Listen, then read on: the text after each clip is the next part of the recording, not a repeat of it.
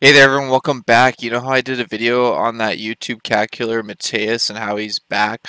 Well, it's a lot worse than I expected. First, I just want to say another YouTuber, Penguinz0 with over 8 million subscribers, posted these two videos, YouTubers killing their cats, and another video saying, I'm mad. Well, Penguins, I hope you see this video and you get furious. Alright, so my video, Have We Been Parking Wrong? You scroll all the way down and in the comments, I got laughing, a heart, uh, knives with cats and uh, comment saying I'm back.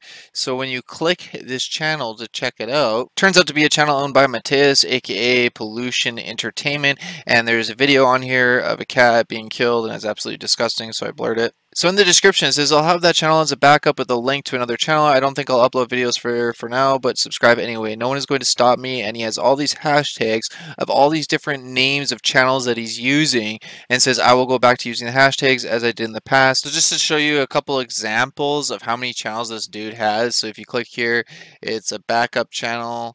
As you can see here, Crick YT, it's his backup. Then they got Naytelos, which doesn't have any videos. Naytelos Regressa, which actually shows a video of him oh, with a mask talking.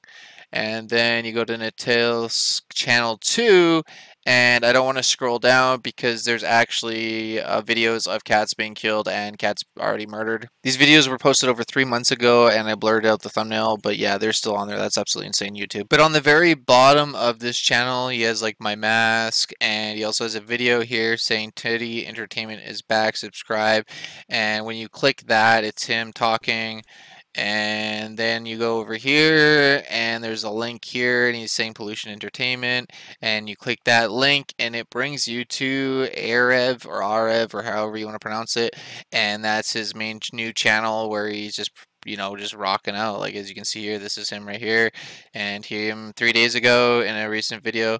Oh video is now private. Okay.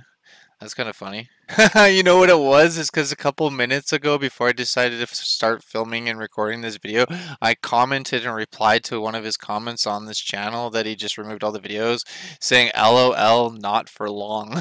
and you know what I just realized? In this video here, you actually take Penguinz0 in it. That's right. That's insane. You're gonna take that Penguins? This guy using your name for clout. So I just wanted to inform all of you and report that this dude isn't gonna give up. Peluchin Entertainment Matias is just gonna create multiple accounts, as you can see in this huge list here that he tagged all these different tags, and those are apparently all different accounts from what I can see. It said that YouTube's not actually just going to permanently ban this guy, and the viewers, us, have to actually go and actually make YouTube aware of what's going on with this fellow. Anyways, I just want to inform you all about this, and uh, yeah, this is absolutely crazy. Hopefully Penguins actually watches this, and he does a video on it talking about it, and ends up contacting YouTube because he's got like bigger, better connections. Let me know your and opinions about this in the comments below, and please like this video, share it with your friends and family so they're aware, and click that subscribe button down there for more. Thanks for watching everyone. Stay safe. God bless you all. Take care, and peace out.